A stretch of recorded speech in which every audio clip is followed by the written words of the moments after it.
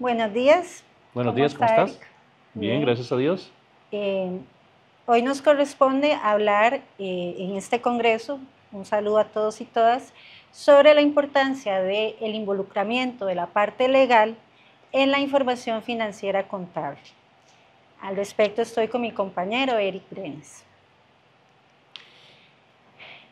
A manera general, es un poco eh, que las instituciones tenemos que comprender que involucrar a la parte legal para que este sistema eh, logre ser exitoso, hay que ver, ¿verdad? Y aquí eh, lo pongo a la orden de colegas que podrían estar en este momento metiéndose a este mundo de las NICs SP, el tema primero de la obligatoriedad que tenemos de esa implementación. Pero a su vez, es la especialización que tienen que tener las personas que nos involucramos en este tema. Y aquí debo decir, ¿verdad?, que del área legal eh, es otro mundo, ¿verdad? Inclusive es una parte técnica con, con mucha nomenclatura desde, desde la visión contable. No es un lenguaje jurídico. Entonces, desde ahí ya tiene que existir ese involucramiento porque sí va a requerir un estudio especializado de la materia. ¿Por qué? Porque vamos a tener que emitir criterios legales en muchas de las implementaciones que vamos a ver más adelante con don Eric, este, y como el área legal va a ser un ente eh, importante en ese engranaje. También vamos a ver cómo las particularidades de cada institución también este, se visualizarán en los productos finales de, estos, eh, de esta implementación. ¿verdad? No es lo mismo, por ejemplo, una institución autónoma que eh, una, un órgano desconcentrado de gobierno central, ¿verdad? Va, va, a tener una normativa, una universalidad, un ordenamiento jurídico propio, el cual son las personas eh, las asesorías legales que van a lograr converger y hacer ese análisis para poder empatar estos temas, ¿verdad? Desde el área contable con la normativa interna de cada institución. Al respecto, bueno, en mi caso, eh, lo, comento como experiencia propia, eh, yo soy asesora legal de la UNED, ¿verdad? Vemos que la UNED, por ejemplo, es una institución con un grado de autonomía máximo. Entonces tiene sus propias particularidades. Por ejemplo, podemos ver que para poder introducir toda esta normativa internacional y nacional que vino a ser de carácter obligatorio, tuvo que introducirse a este ordenamiento de la UNED. ¿Cómo se hizo? Bueno, fue el Consejo Universitario, que en este caso es como el órgano tomador de decisiones máximo político de la UNED, toma este, un acuerdo donde aprueba esta política de la implementación de las NICS SP. Vean ahí que inclusive reconoce su importancia y además la conveniencia de su adaptación e implementación en la UNED. Entonces, este da el marco y el, el punto de partida para que dentro de la UNED esa implementación no solo nos obligue y obliga a las personas que se involucran en el proceso a la implementación, sino empezar a ver qué cosas de nuestra propia normativa interna deben acoplarse y ya sea hasta reformarse eh, para eh, hacer el proceso de forma exitosa. Entonces, ese acompañamiento legal desde todas estas fases es importantísimo porque es lo que da este, que el proceso sea más fluido. Daré un ejemplo antes de ir ingresando con, con lo que nos trae don Eric. Es, por ejemplo, la, NIX 39. Porque esta NIX 39 que habla de los beneficios ampliados es la que casi que retoma todo el tema de los derechos eh, de las personas trabajadoras. ¿Qué pasó en la UNED, por ejemplo? La UNED tiene un estatuto de personal que es el que regula todas estas cuestiones. En ese involucramiento desde el área legal pudimos establecer y empatar estas normas internacionales y nacionales desde la contabilidad pero empatarlo con este estatuto de personal que regulaba esos derechos y beneficios de las personas trabajadoras. Esa convergencia y además la asistencia de todas las reuniones hizo que eh, se pudiera construir de una forma muy integral pues ya el documento, el PPC final. Y eh, pues eh, fue, convergió de forma orgánica. ¿Qué quiere decir? Y con esto sí, sí quiero invitarles a que, a que estén en todas esas etapas. ¿Por qué? Porque es la respuesta inmediata, ¿verdad? No es lo mismo que el área legal eh, esté abstraída y que solo reciba eh, la solicitud de un criterio y que tal vez tarde mucho tiempo en, dar, dar la respuesta. Eso va a detener al equipo de trabajo que está implementando. Si una persona está incluida en esas etapas y asiste a las reuniones, no solo va comprendiendo cuál es la temática y cuáles son los fines de, de esta normativa contable, sino que también puede dar esa respuesta más inmediata. Eh, esto es un poco el ejemplo que les quería dar eh, referido a, a mi caso que es la UNED. A continuación vamos a ver algunas normas y las implicaciones que tiene de acuerdo con los requerimientos que pueden suministrar el departamento jurídico. Pero antes de eso quería comentarles algo. Cuando uno está haciendo una implementación es muy importante hacer un inventario de todos los contratos. Una vez que tengamos este inventario lo vamos a clasificar por diferentes normas. Pero el inventario no solo es para tener simplemente cuáles son los contratos, sino para hacer un análisis. Tenemos que hacer un análisis financiero, un análisis jurídico, es la parte, digamos, más importante en, este, en esta presentación, cuál es el insumo jurídico, así como la parte fiscal. No todas las entidades pagan impuestos, pero algunas entidades van a tener requerimientos impositivos. Una vez que tengamos estos elementos, podemos hacer un análisis para ver cómo vamos a incorporar en los estados financieros este análisis, ¿verdad? Pero lo más importante es considerar el criterio del departamento jurídico. Algunas normas, por ejemplo, eh, en cualquiera de los órdenes, por ejemplo, provisiones, eh, vamos a tener algunos litigios, entonces vamos a tener que utilizar el departamento legal que nos va a dar su criterio de cuál es la probabilidad de éxito o no, porque dependiendo de esta probabilidad, eventualmente se va a reconocer una provisión o no, o se va a hacer una revelación. Por eso es importante este insumo, que no necesariamente la, administración conoce o la parte contable conoce, es un insumo, se incorpora en el análisis y ya sea que se incorpore en los estados financieros o se revele. Otro elemento, por ejemplo, es, otra norma es la 29, instrumentos financieros. Ahí tenemos lo que es el deterioro. Entonces, igual requerimos del departamento jurídico para que nos diga cuál es el estatus de las diferentes operaciones que eventualmente están en cobro judicial para poder hacer un análisis de las mismas y eventualmente eh, incorporar una estimación de dudoso cobro sobre esos saldos. Entonces, este, una vez que tengamos esos elementos, de acuerdo con el juicio de la administración, determinamos esa pérdida y se incorporan los estados financieros. Otro ejemplo puede ser intangibles. Puede haber un contrato en compra de un software donde van a haber obligaciones y deberes, los cuales son importantes conocerlos, y las implicaciones en la entidad, para poder reconocer en los estados financieros esos efectos. Otro, otra norma importante es la 37, acuerdos conjuntos. Ahí se van a determinar en ese contrato cuáles son las obligaciones de ambas partes. Y una vez determinadas esas obligaciones, eventualmente se pueden generar registros contables que van a afectar los estados financieros. El, último que tenemos a mano derecha es beneficios empleados, que Evita lo acaba de comentar. Aquí es importante, por ejemplo, leyes, decretos, este, convenciones colectivas, etcétera. Todas son diferentes, no son iguales. Entonces se analiza cuál es el impacto que tienen, digamos, esos beneficios a los empleados y eventualmente cuál va a ser el registro contable a los estados financieros. Porque todas las instituciones tienen diferentes beneficios, no es algo estandarizado. Entonces hay que hacer un análisis específico en cada una de las entidades. Otro ejemplo que tenemos son las propiedades, ¿verdad? Eh, la norma número 17, propiedades, planta y equipo. Eventualmente podemos tener activos pignorados por diferentes situaciones. También podemos este, requerir de parte del departamento jurídico eh, que garanticen que estén registrados esos activos a nombre de la entidad y si hay alguna situación particular que, no ha permitido que, se dé, digamos, esta situación. Las propiedades de inversión es otro tema importante.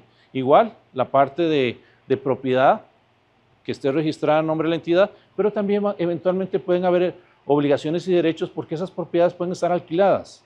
Entonces, eh, se abre un abanico de posibilidades, de obligaciones, este, de la persona que está arrendando o de nosotros que le vamos a arrendar, digamos, el activo a, una entidad. Entonces, ese análisis de la parte del departamento jurídico es muy importante. La número 13, que tiene que ver con arrendamientos, hay elementos importantes, renovaciones, que tengo que dejar el activo como estaba al inicio, entonces eventualmente voy a tener una obligación, cuáles son las partes mías como este, arrendador, cuáles son mis obligaciones. Entonces todos esos elementos tienen que ser analizados, el insumo lo da el departamento jurídico para que sean considerados por la contabilidad o el análisis financiero y se incorporen en los estados financieros. Este, otro elemento eventualmente puede ser inventarios, ignoración de inventarios, entonces que no tengamos conocimiento por diferentes situaciones, entonces parte de lo que necesitemos del departamento legal que nos, que nos ayude. Sí, por ejemplo, bueno, de todas estas normas, les doy un ejemplo. Eh, recientemente, eh, por ejemplo, en propiedades eh, puede recibirse una donación. Entonces ya ese proceso de una donación de una propiedad tiene que entrar, entonces también ya no solo desde lo que hacemos desde el área legal, que es que se concrete la, escritura, sino que también tenemos que entrar a eh, informar que se está haciendo esa transacción, puesto que también es una revelación que eh, tiene que hacerse desde una de las normas. El otro tema, ¿verdad? Que no existiría otra unidad más que la legal, quien es la que lleva todos los procesos legales de la institución, es la, es la eh, unidad primaria que va a saber de esos pasivos contingentes y activos contingentes, ¿verdad? Que eso solamente el área legal es la que lleva los casos, por ejemplo, los que demandan a la institución, que esos son pasivos, ¿verdad? Porque, y ahí es la recomendación de que se tiene que ver cada caso por ejemplo, la demanda inicial con la que este, nos están eh, iniciando el proceso muchas veces eh, indica cuál es la pretensión económica. A veces no, ¿verdad? A veces una pretensión en abstracto, pero a veces sí hay una pretensión económica puntual de que se está demandando y entonces eso entraría como, o sea, habría que incluirlo en unos cuadros que ya están estandarizados y eso es lo que el área legal va a tener que ir incluyendo, ¿verdad? Y solo el área legal va a tener ese control. Y por ejemplo también los que la universidad, eh, bueno, en este caso la institución, activa, ¿verdad? Es, decir, por ejemplo, los cobros que tiene que hacer la institución, cobros judiciales. Entonces ahí también hay pretensiones que tiene la propia institución que va a ser económicos en, en, una, en un proceso judicial de cobro. Entonces esos también se van a ir consignando en, en esos eh, pasivos contingentes y activos contingentes.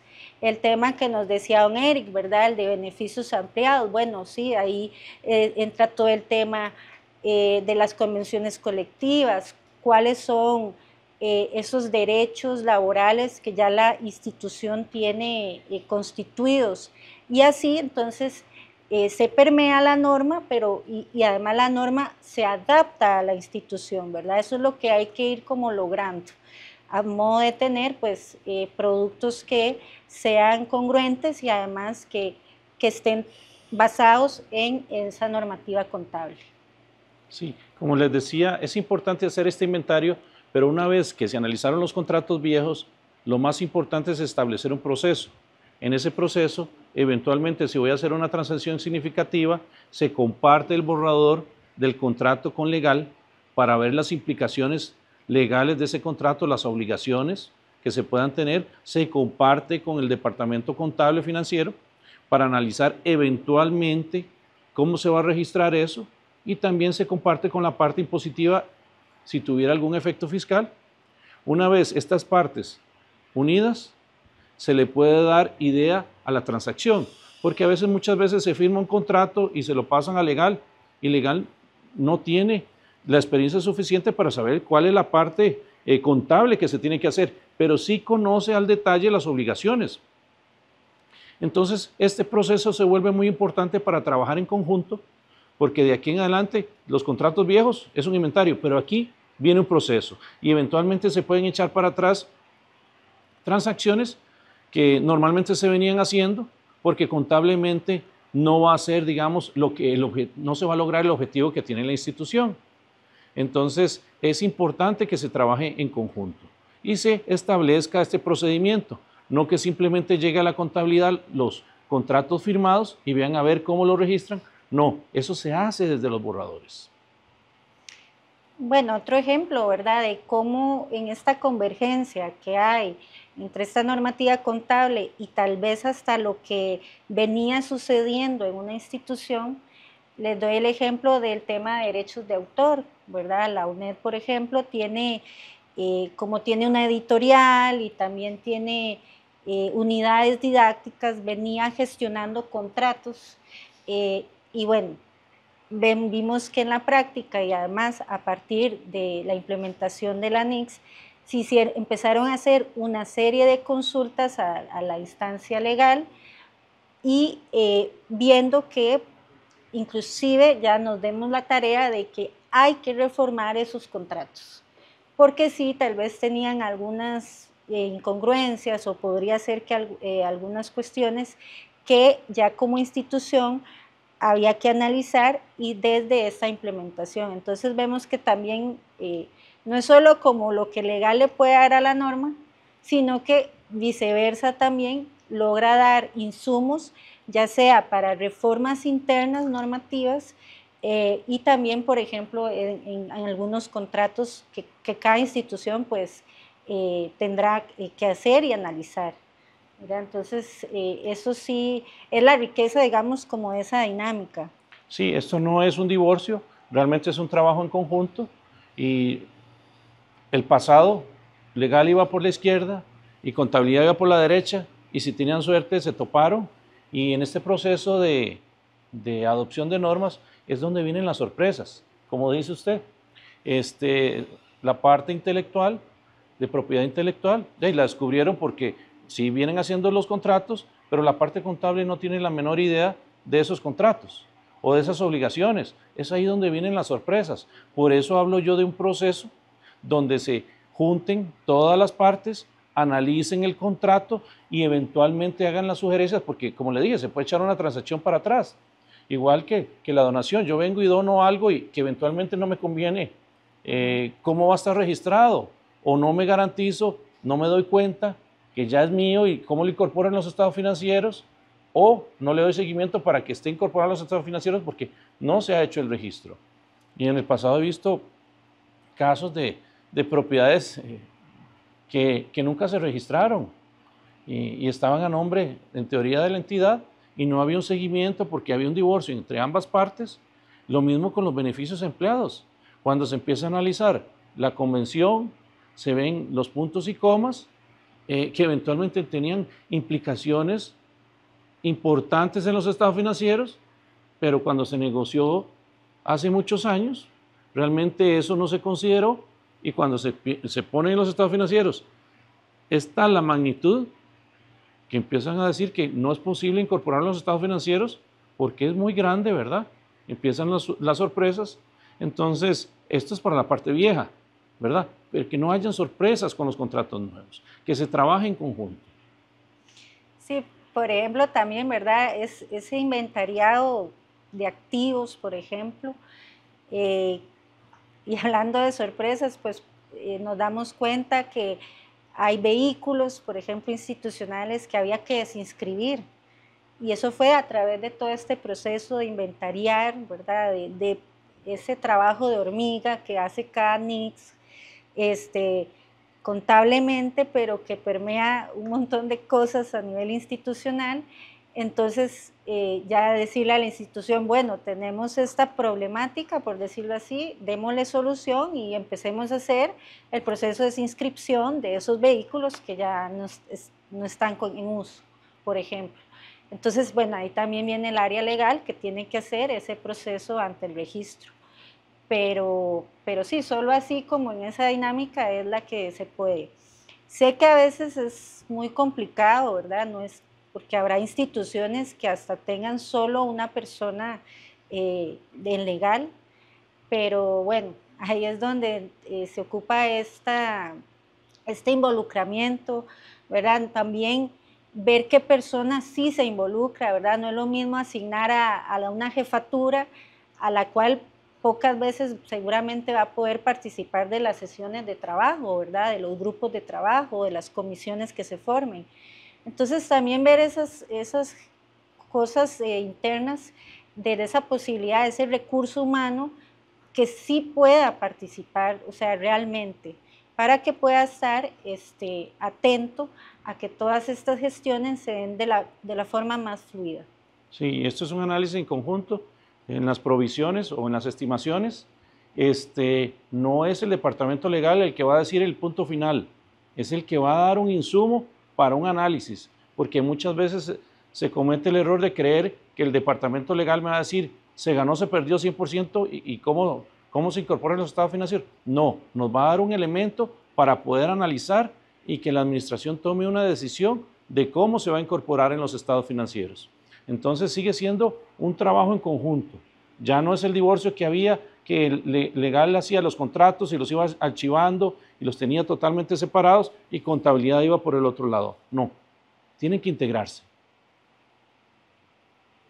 Entonces yo creo que con esto damos una pincelada a las diferentes normas, este, los diferentes insumos, pero hay que sentarse porque esto varía de entidad a entidad este, para que ustedes puedan analizar las implicaciones que se tienen en cada una de las entidades que ustedes eh, participan. Y con esto nos despedimos. Muchas gracias. Muchas gracias.